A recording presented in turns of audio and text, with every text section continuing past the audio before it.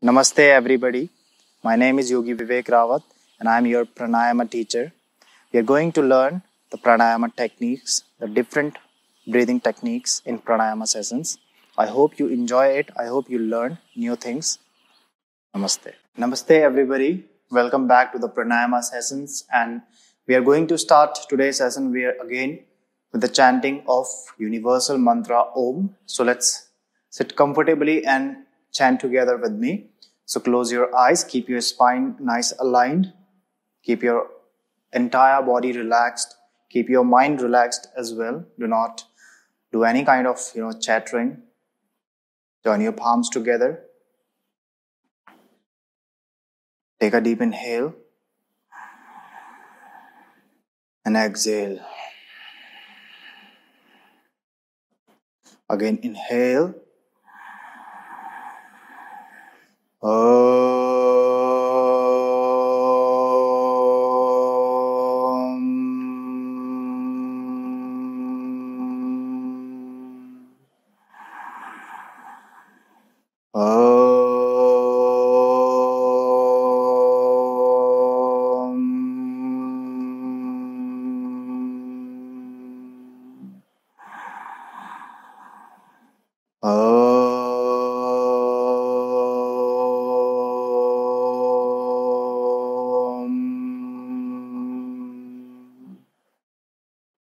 Rub your palms.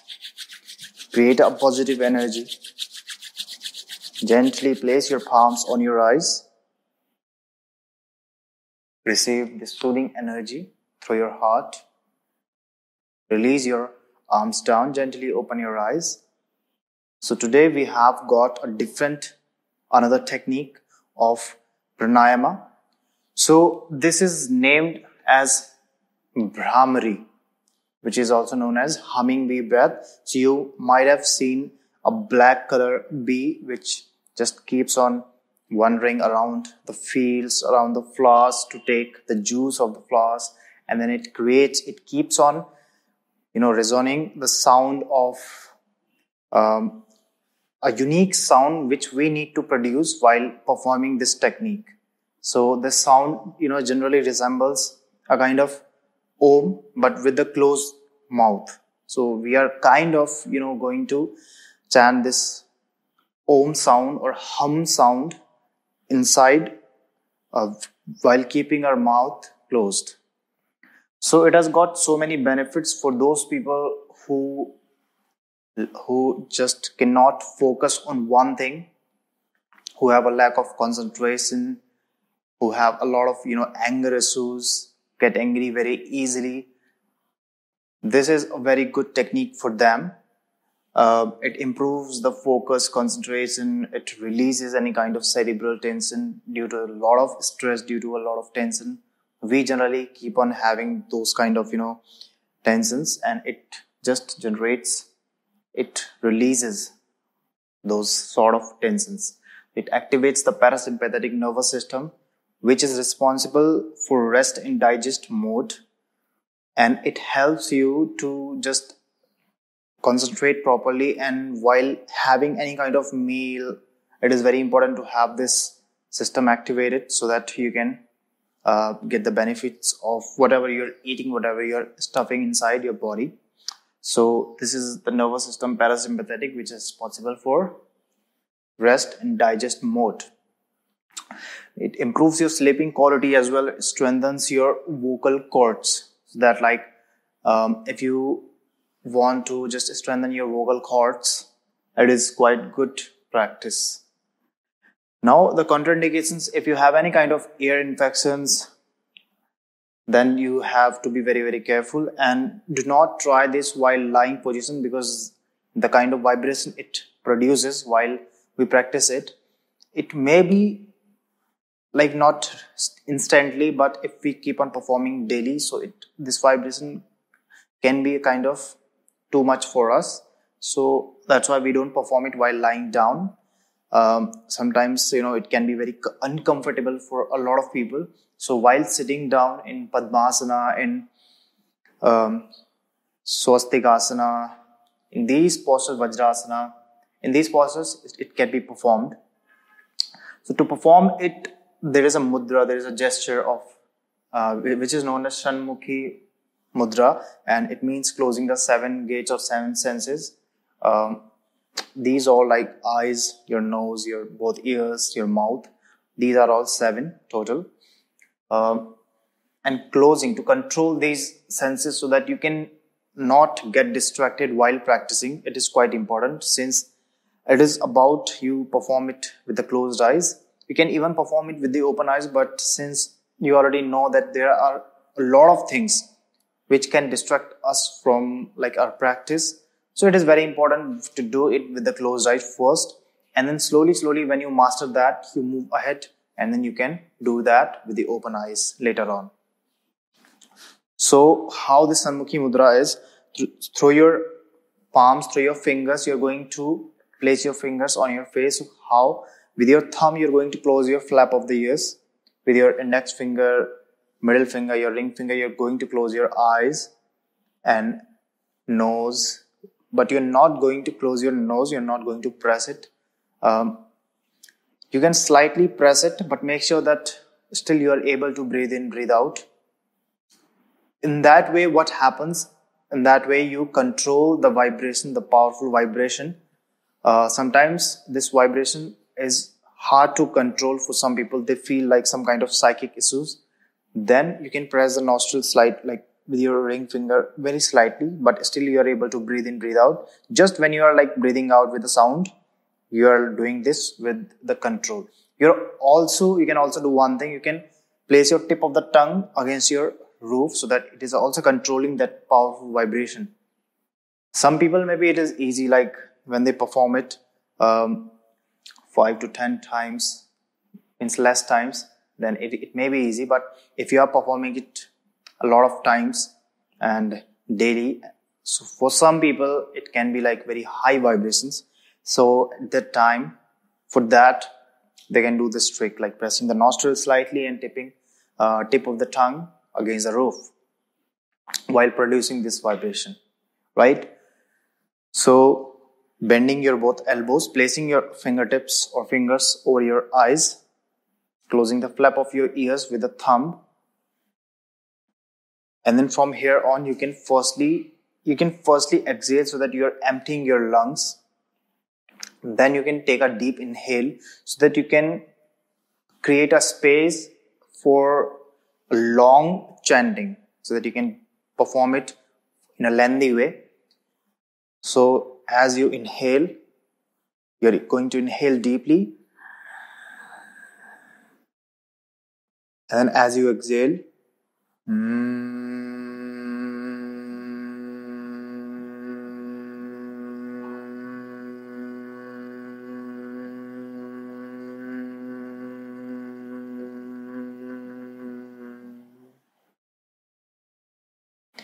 So in that way, you can perform it.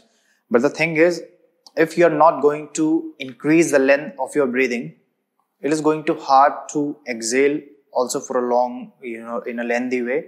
And if you cannot do that, then this vibration would be very short and it would not have that impact on your mind, on your practice. So it is important that you are firstly breathing in in a long way. Then you are slowly, slowly stretching it. So try to make your exhalation slightly longer and try to stretch it for a long way. Um, if you are not comfortable with that, like if you are exaggerating that, you can like make it a slight short if you're not comfortable with that, you know, long exhalation. That is okay. But the thing is, again, I keep on saying that comfort should be there while performing pranayama. If you're not comfortable, try not to push yourself beyond anything beyond the line.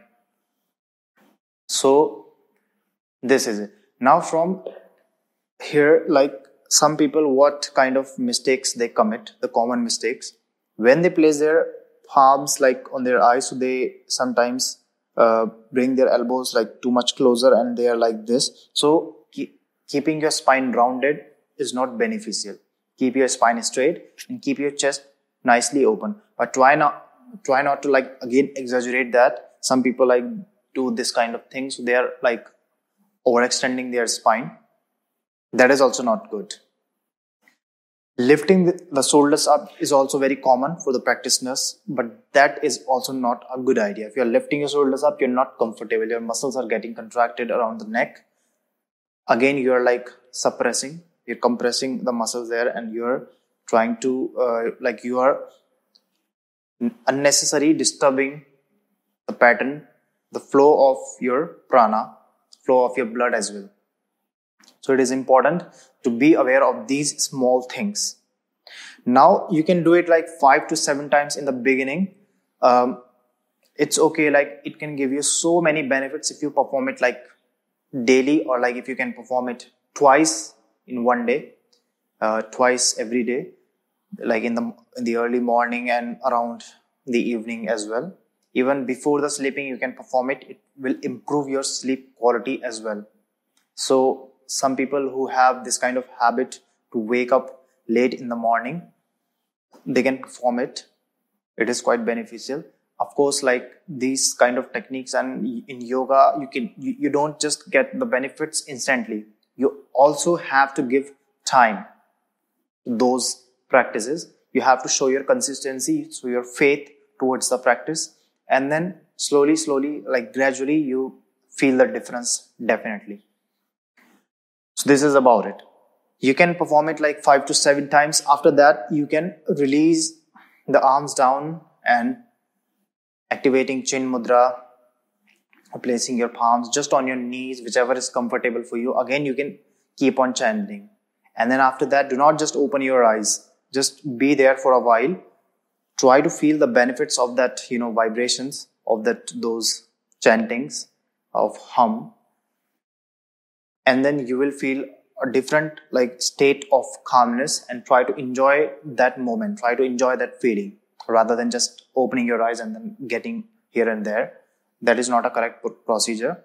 So after finishing it just stay for a moment and very slowly you can like either finish the pranayama session you can do it like towards the end of the pranayama session so that you are bringing a kind of counterbalance to your pranayama you did something like vitalizing so you're like your energy is quite high towards the end of the practice. This one or like Shitali or Shitkari, which we are going to discuss about, these pranayama you can practice towards the end of the session. So you are making a flow, right? So it will just keep you calm, which is the ultimate goal of yoga, to stay calm, to stay just uh, the, like the gentleness, the smoothness, and the state of calmness. So this is about it. Slowly, slowly you can increase the round as well. Five, seven, ten. But you know, like after seven to eight, like if you're doing it properly, your shoulders tend to get tired because you're bending your elbow. For some people who, ha- who don't have like open shoulders, they may find it struggle. And if they like roll their shoulders forward, then their spine is not straight. So in that way, you can just practice it for a like less rounds. Even like five to seven rounds are enough for daily. So that's about it. Practice this beautiful technique of pranayama and definitely see and feel and observe the difference, the beautiful differences, positive differences, um, positive changes in your lives. Uh, whatever kind of problems you have, just try to get rid of uh, get rid out of those problems with these beautiful, magnificent techniques of pranayama. So that's about it. Um, again, let's sit together and chant Om three times for closing the session. Join your palms together. Inhale. Uh,